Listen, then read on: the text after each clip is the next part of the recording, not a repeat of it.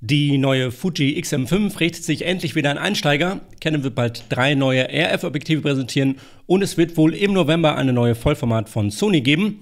Also Folgen auf für Photographics News.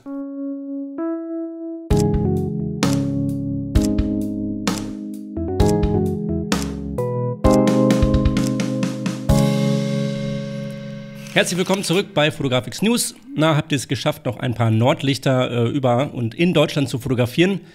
Ich bin auf jeden Fall richtig gespannt auf die Lasergalerie aus dem Oktober und darauf, wie ihr das Leuchten am Himmel so in Szene gesetzt habt, aber muss mich dabei wohl noch ein wenig gedulden. Ebenfalls ein wenig warten, ich möchte es euch nämlich besonders früh mitteilen, müsst ihr äh, auf das nächste Event von unserem Sponsor Fotokoch denn euer und unser Partner für Fotografie und Videografie veranstaltet am 8. und 9. Äh, November eine XXL-Version der beliebten Fototage. Online und vor Ort in Düsseldorf gibt es dabei noch mehr Programmpunkte als sonst. 100 Meter vom Store in der Düsseldorfer Innenstadt baut das Team von Fotokoch zudem ein Messezelt auf. Also falls ihr in der Nähe wohnt, unbedingt mal auschecken. Alle Infos zu Photowalks, den Foodtrucks, die es vor Ort gibt und Co. gibt es über den Link in der Podcast- und Videobeschreibung. Der jüngste X-Summit ist vergangene Woche über die Bühne gelaufen und wie bereits vermutet hat Fuji dort die XM5 vorgestellt. Und nach einigen professionellen DSLMs und der Profi-kompakten X106 legt der Hersteller dabei endlich wieder mal einen Fokus auf äh, Einsteiger. Die XM5 ist dabei die Nachfolgerin der XM1 aus dem Jahr 2015, das ist also schon ein bisschen her und natürlich wurde die dann auch in etlichen Punkten verbessert. Erfreulicherweise kommt dabei der bekannte X-Trans-Sensor im APS-C-Format mit 26 Megapixeln zum Einsatz, den man ja schon aus einigen Profimodellen von Fuji kennt. Da dieser wieder zusammen mit dem X-Processor 5 zusammenarbeitet, ist eine echt gute Bildqualität zu erwarten. Allerdings bietet die XM5 äh, keinen 5-Achsen-Bildstabilisator. Ebenfalls verzichten muss man auf einen elektronischen Sucher und in den Kommentaren unter Marks News auf fotografix-magazin.de äh, wird das durchaus als Kritikpunkt angesehen. Allerdings äh, sorgt der fehlende IWF für kompaktere Abmessungen und ein geringeres Gewicht. Mit nur 350 Gramm ist die XM5 wirklich angenehm leicht. Die Abmessung gibt Fuji mit etwa 11 x 6 x 4 cm an. Das 3 Zoll große Touch-Display lässt sich neben das Gehäuse nach vorne klappen, ist allerdings mit einer Auflösung von gerade mal 1,04 Millionen Pixeln äh, relativ äh, niedrig auflösend. Mit OpenGate Videoaufnahmen in 6,2K bei 30 Bildern pro Sekunde in einer 422 Farbunterabtastung und 10 Bit bietet die XM5 dann aber auch wirklich überraschend starke Videofunktionen. 4K-Videos sollen in 16 zu 9 dann auch bei 60 Bildern pro Sekunde möglich sein, Full HD sogar in 240 FPS. F-Log 2, also Fujis eigenes Log-Format, ist ebenfalls mit von der Partie. Wo gibt es also noch Abstriche? Beim Autofokus erfreulicherweise nicht, denn hier bietet die XM5 dieselben Algorithmen samt Tracking für Menschen, Tiere und weitere Objekte. Ebenfalls charmant sehen die Bedienmöglichkeiten aus. Es gibt nämlich das von der XT50 bekannte Einstellrad für Filmsimulationsmodi.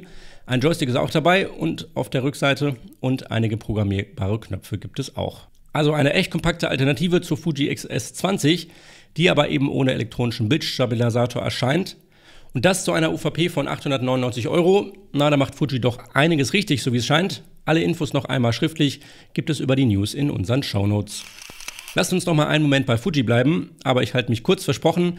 Neben der XM5 gibt es nämlich auch zwei neue Objektive für das XF-Bajonett. Einmal das 16 bis 55 mm f2.8 in der zweiten Generation, das jetzt mit einem Gewicht von 410 Gramm noch mal deutlich leichter geworden ist. Ich glaube, aber nagelt mich darauf fest, ähm, das Vorgängermodell wiegt 620 Gramm. Zudem gibt es jetzt zum ersten Mal einen Blendenring mit Die-Click-Funktion. Preislich liegen wir hier bei 1349 Euro, also gerade mal 50 Euro mehr als das Vorgängermodell. Etwas teurer, größer und schwerer ist das 500 mm f.6. Die Telefestbrennweite erinnert stark an das 15 mm f.6 für Fujis Mittelformatkameras. Das Gewicht von 1335 Gramm und Abmessung von etwa 10 x 26 cm sind dann aber äh, nicht allzu gewaltig für so ein Objektiv. Preislich müssen Tierfotografen aber 3.399 Euro einplanen. Umgerechnet auf Kleinbild ergibt sich aber eine durchaus lichtstarke 750 mm Festbrennweite.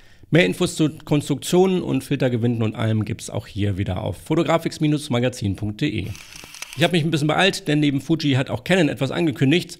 So soll es nämlich am 30. Oktober drei neue Objektive geben, mit denen man die hybride RF-Objektivserie erweitern will. Und das passt doch ganz gut zu den Gerüchten, die wir in den letzten Wochen gehört haben. Das offizielle Teaserbild, ihr seht es jetzt hier gerade auf YouTube, zeigt die Schatten von drei bisher unbekannten Objektiven. Und wir gehen davon aus, dass es sich um das RF 24mm f1.4 LVCM, das RF 15 mm f1.4 L VCM sowie um das 70 bis 200 mm f2.8 L USM Z handeln wird. Letzteres soll auch mit den Telekom-Wertern von Canon kompatibel sein, allerdings deutet der Zusatz Z schon auf ein besonders hochpreisiges Objektiv hin. Mehr wissen wir also spätestens am 30. Oktober, also bis bald. Nutzt ihr Fuji, Canon und Sony, dann könnte das Q4 für euch echt teuer werden. Denn offenbar wird Sony äh, Ende November eine neue Vollformatkamera mit E-Mount Bayonet vorstellen. Konkrete Informationen darüber, was Sony hier vorstellen wird, haben wir noch nicht. Allerdings wären wir natürlich nicht Fotografix, wenn wir nicht schon ein paar Spekulationen und Gerüchte für euch hätten. Zugegeben sind diese aber noch ein wenig diffus. Es könnte die A7 V sein, die Sony A1 ist aber noch ein Jahr älter, also könnte es auch die Sony A1 II sein. Die Präsentation einer A7S äh, 4 wäre es dann einer A7R6 oder einer Nachfolgerin der FX3 sind aber wohl eher unwahrscheinlich. Alles genau wissen wir dann wohl Ende November oder wenn Sonys Geheimabteilung dann doch nicht ganz so dicht halten kann, auch schon in den nächsten Ausgaben von Photographics News. Zum Trost für alle Sony-Fans, die A7 IV hat ein großes Firmware-Update erhalten und Überraschung, sie bekommt dabei Focus Bracketing, muss ich mal für meine Produktfotos mit Makroobjektiv unbedingt ausprobieren. Mit der letzten News heben wir schon fast ins Wochenende ab. Und ja, ich halte daran fest, ich werde diesen Gag bei jeder Drohnen-News bei Photographics News durchziehen und äh, weiterhin auch machen. Falls euch das stört, dann müsst ihr diesen Teil eben überskippen. Die DJI R3S ist erschienen und arbeitet jetzt mit einem 1 Zoll Sensor. Dieser arbeitet mit dem 24 mm Weitwinkelobjektiv zusammen. Das 70 mm Tele hat weiterhin einen 1 zu 1,3 Zoll großen Sensor. Beide Kameras können aber Fotos mit 48 Megapixeln aufnehmen und unterstützen 4K-Videos bei 60 Bildern pro Sekunde im HDR-Modus und 4K-Aufnahmen mit 120 Bildern pro Sekunde im Zeitlupenmodus. Neu ist zudem eine Funktion zur Fokussierung von Motiven. Das Objektiv soll dabei auch im manuellen Flug oder bei der Bewegung aus der Mitte raus scharf äh, gestellt werden können. Stichwort Scharfstellen, die R3S ist auch die erste DJI-Drohne dieser Klasse, die über einen nach vorne gerichteten LiDAR-Sensor verfügt.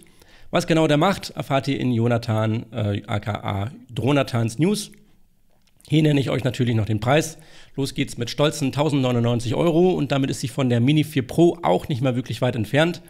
Wollt ihr noch mehr Leistung und äh, habt ein größeres Budget, dann solltet ihr aber vielleicht noch ein bisschen warten, denn die Mavic 4 äh, steht auch schon fast ins Haus. Ein Blick auf meine Uhr, okay, zugegeben ist es nur ein Whoop-Band ohne Zeitanzeige. Äh, ich weiß trotzdem, dass ich langsam mal zum Ende kommen sollte. Aber ich wollte noch sagen, ihr seid übrigens die Besten, denn mit Aufrufzahlen von fast 7000 Zuschauern für die nächste Folge habt ihr mir echt die Woche versüßt. Trotzdem muss die nächste Folge leider ausfallen, denn ich bin im Heimatbesuch und möchte meinen ganzen Kram leider nicht mitschleppen. Aber ähm, die übernächste Folge passiert dann mit einer extra Portion Motivation und ich sage bis auf Wiederhören, bis in zwei Wochen. Ciao!